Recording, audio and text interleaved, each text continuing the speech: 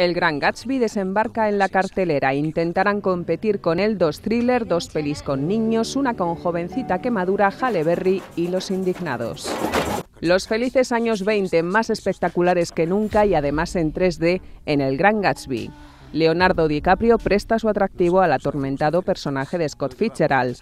Amor, lujo, mafia y un turbio pasado se mezclan durante dos horas y media de superproducción. Para pasar miedo en el cine, dos opciones. The Lords of Salem es una de brujas dirigida por el icono de la música rock Rob Zombie. Y El cosmonauta española y ambientada en el espacio, a partir de la historia real del primer astronauta ruso que llegó a la Luna, que no regresó. A muchos les dan miedo los tiburones, a Halle Berry también, pero vuelve a nadar entre ellos por dinero en marea letal. Y es donde están los grandes, ¿no?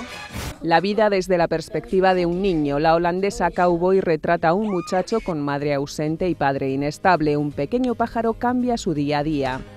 En la última isla, una niña lo que cambia es la televisión por un mundo de fantasía durante el verano que pasa con una tía suya en un remoto lugar donde no todo tiene lógica. Ali ya no es una niña. Nadia de Santiago protagoniza la vida de Ali en la que no tiene más remedio que crecer aunque no siempre le guste. Y el documental de la semana es Indignados, llega de Francia, mezcla ficción y realidad para recorrer los movimientos de protesta que se extendieron por Europa hace dos años. Con un montaje muy dinámico y muy marcado por la música, cuenta la historia de una inmigrante ilegal que vive los acontecimientos desde dentro.